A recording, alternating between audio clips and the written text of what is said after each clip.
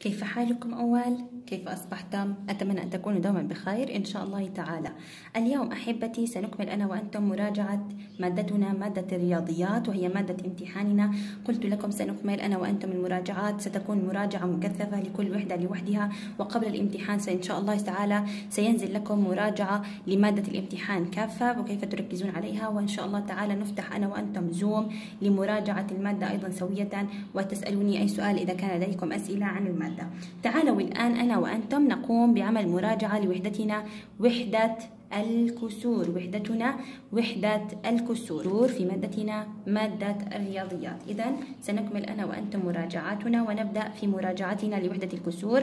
تعلمنا في وحدة الكسور يا أول عن درس اسمه الأجزاء المتطابقة. الأجزاء المتطابقة. وتعلمنا أيضا عن النصف وهي واحد على اثنان.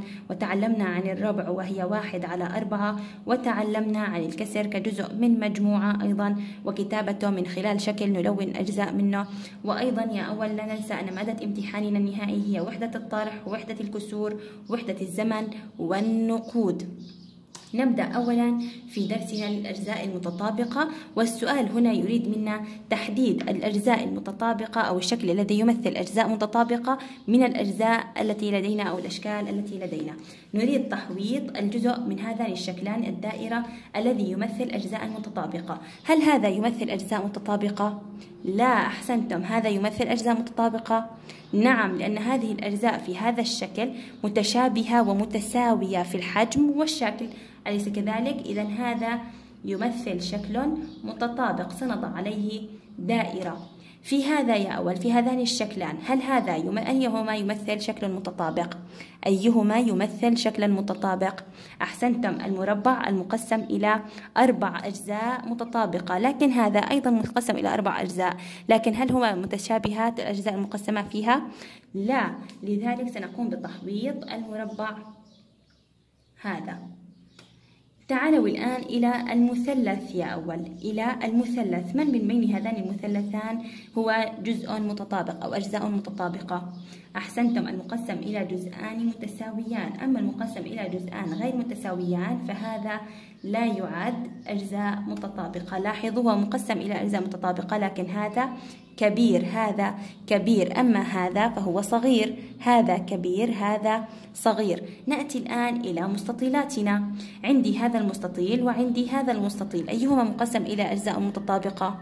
أحسنتم المقسم إلى ثلاثة أجزاء متشابهة. هذا يمثل أجزاء متطابقة. هكذا كان درسنا في الأجزاء المتطابقة وتعلمنا أيضا عن كتابة كم عدد الأجزاء المتطابقة في كل شكل. لو أردنا الآن كتابة الأجزاء المتطابقة في هذا المثلث كم جزء متطابق لدينا؟ نعم أحسنتم. اثنان. الأجزاء المتطابقة فيه اثنان. في هذا المستطيل يا أول كم جزء متطابق لدينا؟ أنتم رائعين. ثلاثة أجزاء متطابقة ثلاثة أجزاء متطابقة. في هذا المربع كم جزء متطابق لدينا؟ أحسنتم أيضا أربع أجزاء عندي أربع أجزاء متطابقة. وفي هذه الدائرة أربع أجزاء أحسنتم أربع أجزاء متطابقة. تعالوا نرى بعدها تعلمنا عن درس النصف والربع.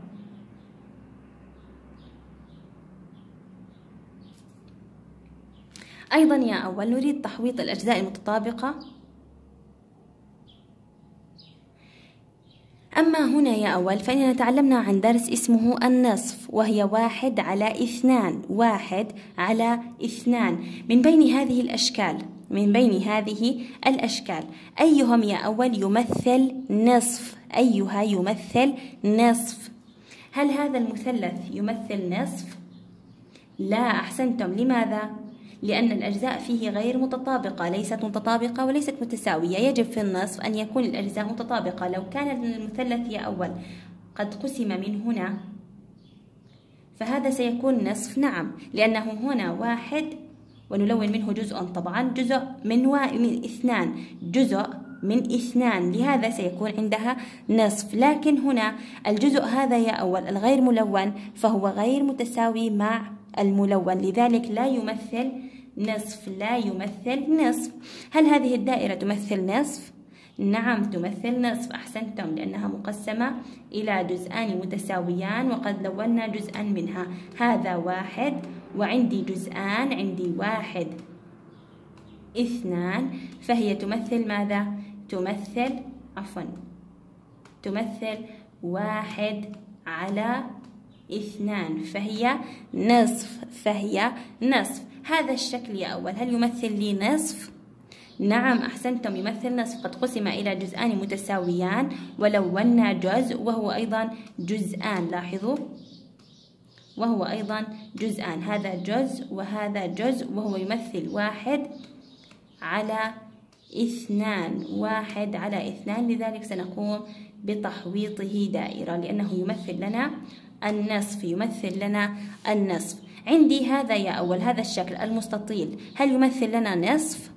نعم أحسنتم يمثل نصف لونا جزء منه وتبقى عندي جزءان وهو أصلا جزءان عفوا وتبقى عندي جزء لم نلونه فهو يمثل أيضا عندي واحد على اثنان يمثل لي واحد على اثنان فهو نصف فنريد تحويطه نريد تحويطه تعالوا نرى الآن هذه الدائرة. هل هذه الدائرة واحد على اثنان؟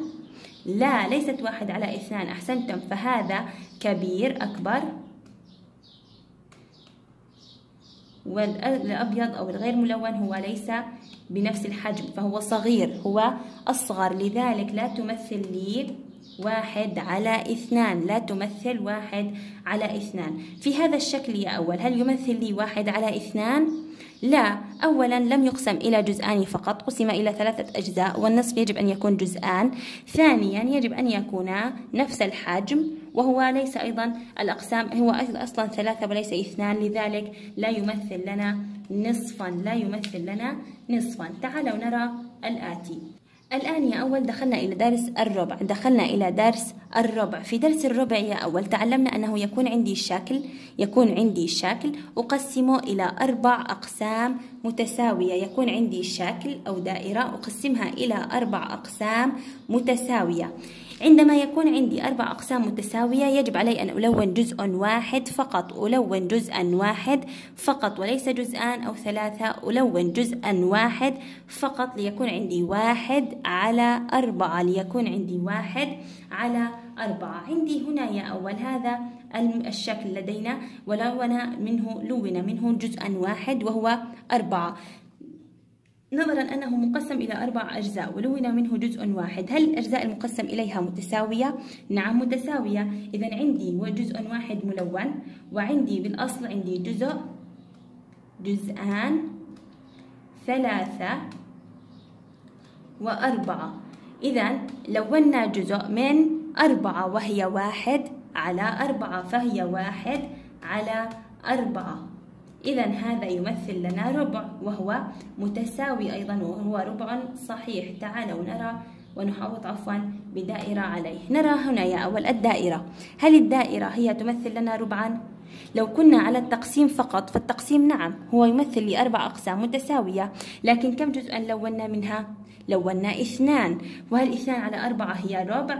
لا لأنها غير متساوية لأنها غير عفوا عندي جزءان ملونان أول من أصل كم؟ من أصل أربعة نعم الأربعة هي أربع أقسام وهي للربع لكن يجب علينا أن نلون كم جزء؟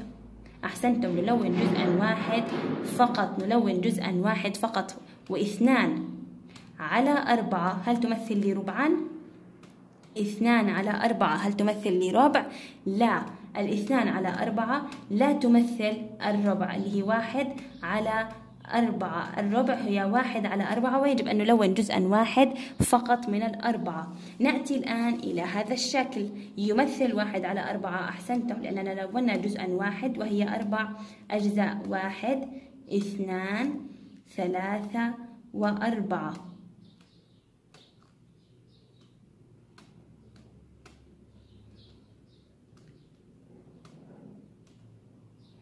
وهي أربع أجزاء متساوية لذلك هي تمثل لي واحد على أربعة تمثل لنا واحد على أربعة وهي الربع.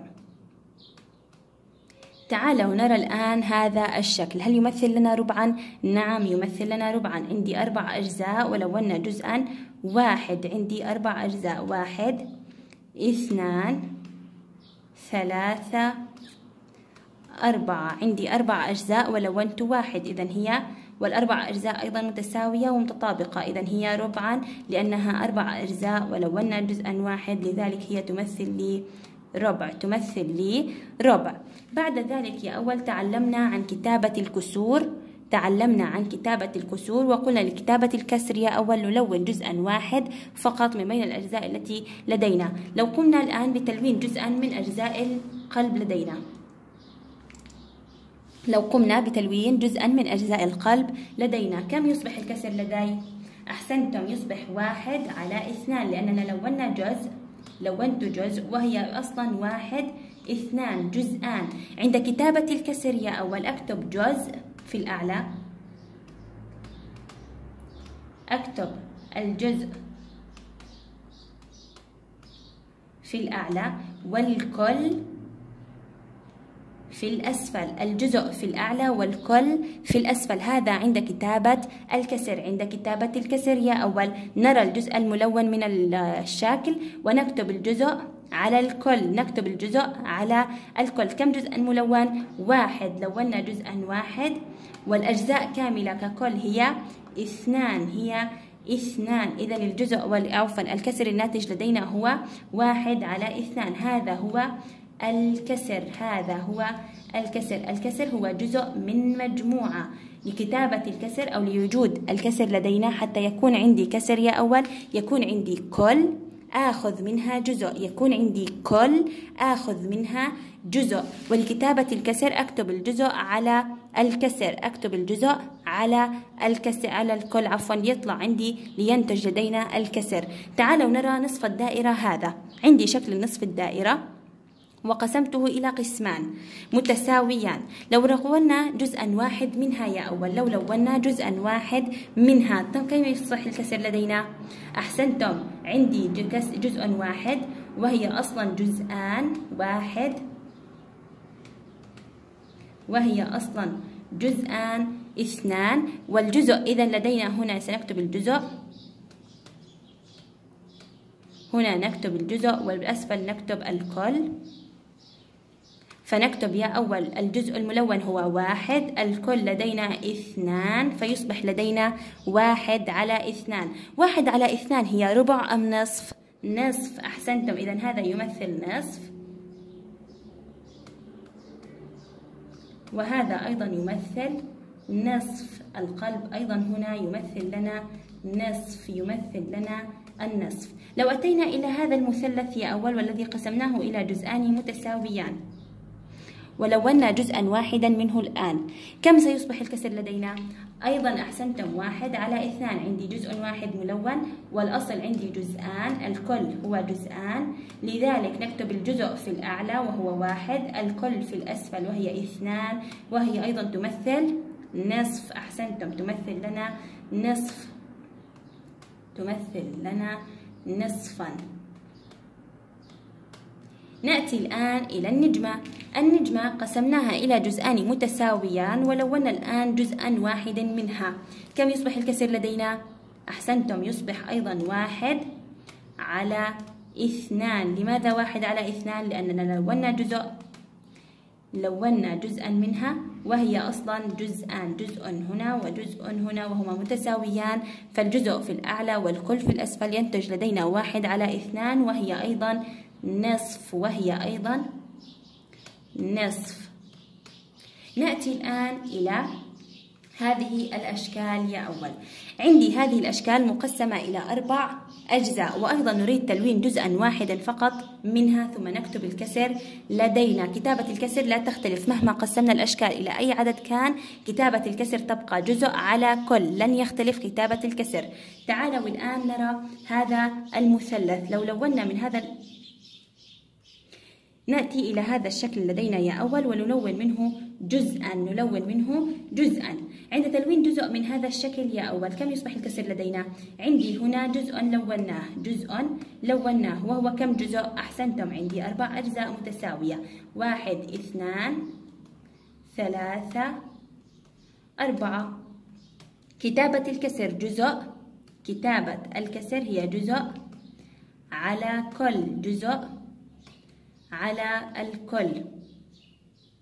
لكتابة الكسر الجزء الملون هو واحد أحسنتم هو واحد. الكل أربعة إذا الكسر لدينا واحد على أربعة وهذا يمثل ربع أحسنتم يمثل لنا الربع. نأتي الآن إلى المثلث هنا نلون منه جزءا واحد. لونا من المثلث جزءا واحد. كم جزءا لدينا؟ أربعة أحسنتم عندي هذا الجزء لوناه واحد وهو أصلا كان المثلث جزء اثنان ثلاثة وهذا الجزء الرابع الذي لوناه. فالكسر لدينا سيكون الجزء الملون هو واحد الكس الكل لدينا هو أربعة الكل لدينا هو أربعة لذلك كسرنا هو واحد على أربعة وهذا يمثل ربع وهذا يمثل ربع. لأن عندي أربع أجزاء متطابقة متساوية ولونا جزءا واحد فهذا جزء وهذا كل. في الأعلى جزء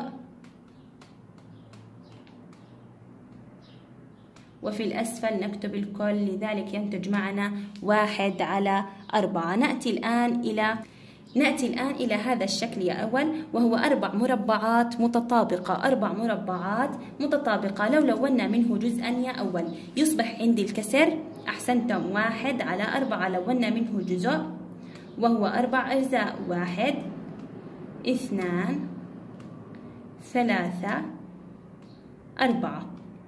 أربع أجزاء متطابقة لكتابة الكسر نكتب الجزء على الكل. الجزء واحد والكل أربعة لذلك ينتج لدينا ربع واحد على أربعة. الربع وهو واحد على أربعة. نأتي إلى شكلنا الأخير وهو المستطيل مقسم إلى أربع مستطيلات متساوية أيضا. لذلك عند تلوين جزء منه يا أول يصبح الكسر لدينا واحد على أربعة. لذلك عندي واحد ملون وعندي الأجزاء كاملة هي واحدة اثنان ثلاثة أربعة. أربع أجزاء ولونا منها جزء. الجزء يكتب في الأعلى والكل يكتب في الأسفل وهو يمثل أيضا ربع يمثل أيضا ربع. هكذا يا أول يكون انتهى مراجعة وحدتنا. تكون قد انتهت مراجعة وحدتنا وحدة الكسور. وتعلمنا أنا وأنتم أكثر عن وحدتنا من خلال هذه البرمجية. أتمنى أن تكونوا قد استفدتم منها. تابعوا حصة الزوم قبل امتحانكم لمادة الرياضيات وأيضا فيديو المراجعة بالكامل سيكون لمادة الامتحان كاملة. لم ننتهي بمادة الامتحان سنكمل إن شاء الله يوم الغد وحدتنا الأخيرة للامتحان وهي وحدة الزمن والنقود. إن شاء الله تعالى أتمنى أن ألقاكم دوما على خير أحبتي الصغار دمتم بحفظ الرحمن وحبه دوما إن شاء الله. إلى اللقاء.